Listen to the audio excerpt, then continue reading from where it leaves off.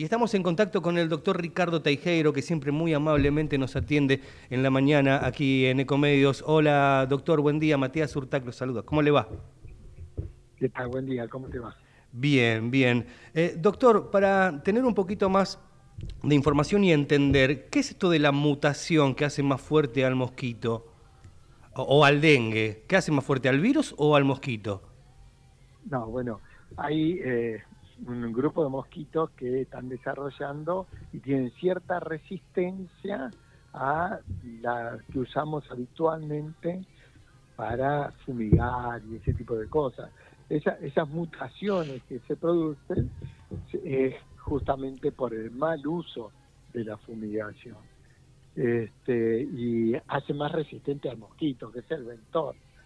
Ah, el virus por ahora no tiene grandes cambios. Ustedes saben que hay cuatro cepas distintas, no es un solo virus.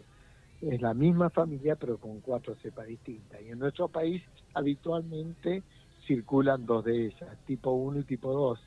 El año pasado hubo muy poquitos casos de tipo 3. En países como el Brasil circulan las cuatro cepas. Hay, hay un mosquito solo que, que transmite el virus, ¿no, doctor? Bueno, eh, la Aedes aegypti es el mosquito que con mayor frecuencia lo transmite. Sí. Hay otra variante, pero es muy poco frecuente, pero también hay que recordar que esta variante de Aedes aegypti también transmite Zika, chikungunya, fiebre amarilla. No es que transmite solo dengue. Bien, bien. Estamos hablando con el doctor Ricardo Teijeiro, infectólogo. ¿Qué, qué puede pasar eh, en el verano? ¿Hay algún pronóstico? ¿Se está trabajando bien desde el gobierno? Todos sabemos que durante la época de verano, si hay mucha humedad sobre todo, vamos a tener gran desarrollo de mosquitos. Eso no quiere decir que está relacionado directamente a la proporción de casos de dengue, de ninguna manera, pero por lo que estamos viendo en otros países, el virus está circulando con frecuencia. Entonces, es de esperar que nosotros tengamos una circulación importante del virus de dengue. Todo va a depender después de lo que hagamos cada uno de nosotros para los mecanismos de atención, ¿no? Bien, y la vacuna, la vacuna que ahora se está empezando a dar en algunas provincias, en la ciudad de Buenos Aires, por ejemplo, ya se puede sacar el, turno, ¿verdad? Eh, para los más jóvenes, en principio. Sí, ¿y por qué esto? A ver, el grupo más afectado el grupo que más contacto social tiene, que más riesgo tiene de contraer el virus, independientemente, aunque no sea grave, lo que más riesgo tiene de contraerlo es el grupo joven, de 15 a 39 años aproximadamente. Entonces, vacunando a este grupo, haciendo que tenga menos cantidad de virus, eh, podemos bajar la posibilidad de contagio. Por eso se le indica a este grupo primariamente. Y después, bueno, de acuerdo a la región de nuestro país, van a tener la indicación, porque ustedes vieron que en capital es de 15 a 19 años que inicia, en provincia va a ser para aquellos que ya tuvieron de 15 a 59 años, y eso tiene que ver con la cantidad de vacunas que tengan.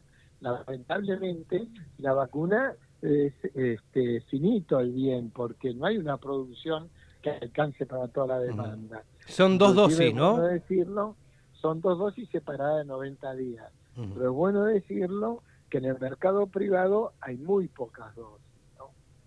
Que la gente no corra, no se asuste, que consulte con su médico.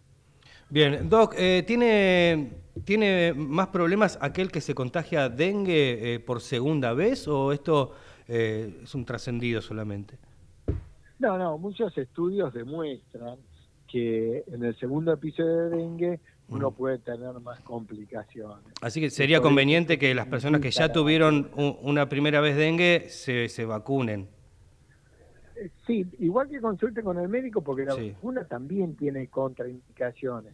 Por ejemplo, porque es una vacuna virus vivos atenuados. Entonces, una embarazada, una mujer amamantando, o un paciente que tiene una inmunosupresión porque toma corticoides, porque tiene una enfermedad grave o alguna otra cosa, no se puede vacunar. Entonces siempre es importante, aparte de esto que podemos comunicarle a la gente, que consulte con su mm. médico de cabecera. Bien, entonces hay que, en todos los casos siempre hay que consultar con el médico de cabecera. Le hago la última, como siempre, agradeciéndole su tiempo, doctor. ¿Genera, genera algún síntoma la aplicación de la vacuna? Puede ser que, sea como en el caso del COVID, que en algunos casos este, tenía, presentábamos algún síntoma leve por, por el primer eh, lapso después de haber sido aplicada la vacuna. Como toda vacuna puede tener alguna reacción adversa y sobre todo pues son vacunas a virus vivo. Entonces pueden tener reacciones locales como la inflamación de la zona de aplicación, el dolor, pero también puede tener reacciones generales, malestar general, algo de fiebre, algo de caimiento. Ese tipo de cosas se ven en la vacuna como eventos adversos, pero en general en 48, 72 horas se soluciona, se autolimita. ¿no? Bueno, doctor, muchísimas gracias, como siempre, y, como siempre también por darnos eh, los consejos, que en primer lugar es eliminar los criaderos de mosquito, ¿no? Seguro. La vacuna no hay que confiar como único mecanismo de prevención. Los mecanismos de prevención tenemos que usar todo. Primero el control del vector, que es fundamental, el control del mosquito.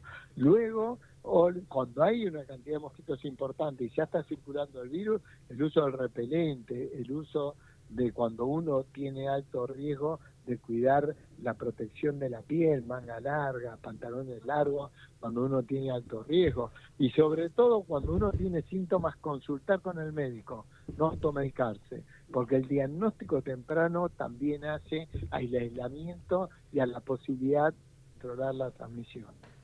Doctor, muchas gracias por estos minutos con Ecomedios. ¿eh? Que tenga buen día. Chao, buen día, que les vaya muy bien.